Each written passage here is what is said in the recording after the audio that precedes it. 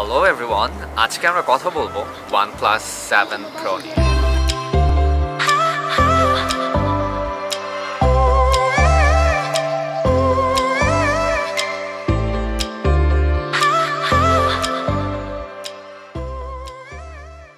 One plus seven pro এবছর সবগুলো smartphone company almost তাদের ফ্ল্যাগশিপ ফোনগুলোর নেমের সাথে প্রো নেমটি অ্যাড করেছে। আসলেই কি প্রো ফিচারগুলো তারা দিতে পেরেছে কিনা সেটা নিয়ে তারা নিজেরাও হয়তো কনফিউজড সে যাই হোক ওয়ানপ্লাস এমন একটি কোম্পানি যারা কিনা অলওয়েজ বাজেটের মধ্যে এ প্লাস কোয়ালিটির ফোন প্রোভাইড করে থাকে। বাট যেভাবে তারা প্রতি বছর ফোনের প্রাইস বাড়াচ্ছে, তাতে করে ওয়ানপ্লাসকে আর কখনো বাজেট স্মার্টফোন কোম্পানি বলা যাবে কিনা, সেটা নিয়ে আমার সন্দেহ আছে। ওয়ানপ্লাসের বাজার মূল্য সত্তর হাজার থেকে আশি হাজার টাকার মধ্যে, যা কিনা কখনোই বাজেট স্মার্টফোনের মধ্যে পড়ে না। এই সেম প্রাইসে আপনি ইজিলি আইফোন ইলেভেন কিনে ফেলতে পারবেন। বাংলাদেশে হয়তো আইফোন ইলেভেনের প্রাইস একটু বেশি, কিন্তু ইউএসএতে আইফোন ইলেভেনের প্রাইস সেভেন হান্ড্রেড ডলার এবং ওয়ান প্লাস সেভেন প্রো এর দাম সেভেন ফিফটি ডলার কিন্তু এই মুহূর্তে ওয়ান প্লাস ওয়েবসাইটে ডিসকাউন্ট দিয়ে এর দাম ধরা হয়েছে ফোর হান্ড্রেড ফিফটি ডলার সে যাই হোক, এবার বলি ফোনের স্পেক্সের কথা। আমি যে মডেলটির কথা বলছি, সেটি one twenty eight gig UFS three point oh fast storage eight GB RAM এবং কোয়ালকম স্ন্যাপড্রাগনের এইট ফিফটি ফাইভের চিপসেট ব্যবহার করা হয়েছে। ফোনটিতে অ্যান্ড্রয়েড নাইন পয়েন্ট ও সফটওয়্যারটি রান করছে।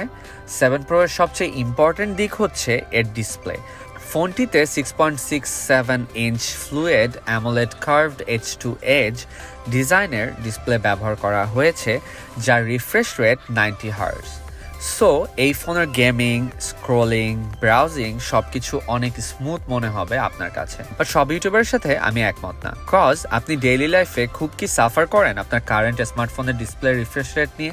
অবশ্যই না, এবং এটা আমরা সেভাবে খেয়ালও করি না। এবং খালি চোখে খুব বেশি খেয়াল না করলে আপনি হয়তো বুঝতেও পারবেন না রিফ্রেশ রেটের স্মুথনেস ফোনটি অলমোস্ট তিন মাস আমি ব্যবহার করছি। অন্য যত ভিডিও দেখলাম, সবাই বলছে fastest phone best Android phone আমার ক্ষেত্রে একদমই ভিন্ন এক্সপেরিয়েন্স এটা কি শুধু আমার ফোনের প্রবলেম সেটা আমি বলতে পারছি না। আমি ওয়ান প্লাসকে মেল করার পরও ওরা কোনো রিপ্লাই করেনি। আমার ফোনে দুই থেকে তিনটি অ্যাপস ব্যাকগ্রাউন্ডে থাকলেই ফোন হ্যাং করে। অনেকক্ষণ জিপিএস অন করলে ফোন স্টাক হয়ে যায়।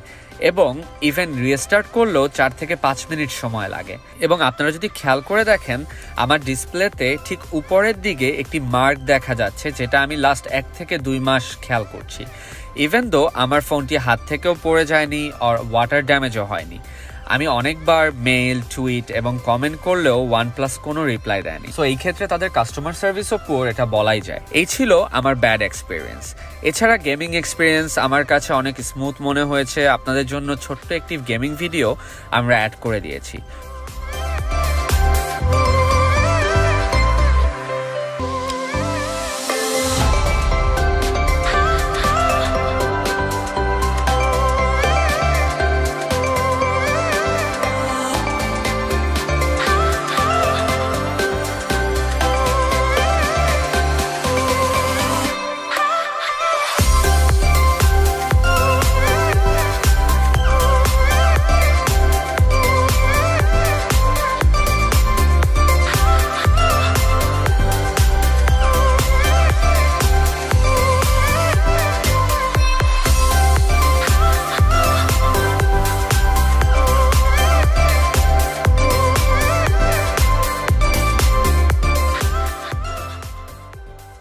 প্রতিটি স্মার্টফোনের ইম্পর্টেন্ট বাইং রিজন হচ্ছে এর camera I am really confused আপনি যদি ওয়ান প্লাসের বিল্ড ইন ক্যামেরা অ্যাপস দিয়ে পিকচার তোলেন, আপনি একরকম রেজাল্ট পাবেন। সেম ফটো আপনি যদি গুগল ক্যামেরা অ্যাপস দিয়ে তোলেন, অনেক ভালো রেজাল্ট পাবেন। ওয়ান প্লাস ক্যামেরা অপটিমাইজেশনে এক্ষেত্রে খুব ভালো কাজ করেছে বলে আমার মনে হয় না।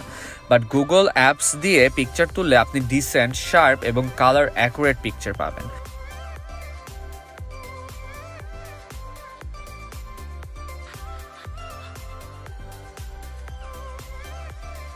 ফ্রন্টে ফুল ডিসপ্লে হওয়ায় ওয়ানপ্লাস মোটরাইজ ফ্রন্ট ক্যামেরা ব্যবহার করেছে। And biggest upside is front ক্যামেরাটি একদমই ওয়াইড না। দ্যাট মিনস আপনাকে সেলফি তুলতে হলে হাত অনেকটা প্রশস্ত করতে হবে। অ্যান্ড কোয়ালিটি আমার কাছে খুব বেশি ইমপ্রেসিভ মনে হয়নি। পিকচার কিছুটা সফট এবং স্কিনের কালার টোনটা কিছুটা চেঞ্জ মনে হয়েছে।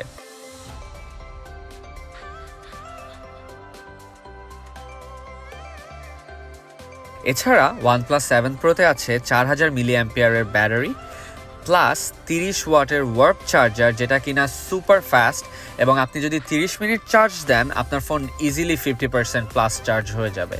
এই ছিল ওয়ানপ্লাস সেভেন প্রো এর রিভিউ আপনাদের যদি আমার ভিডিও ভালো লেগে থাকে দেন আমার চ্যানেলটি সাবস্ক্রাইব করতে পারেন অ্যান্ড কমেন্ট করে আপনার মতামতও জানাতে পারেন।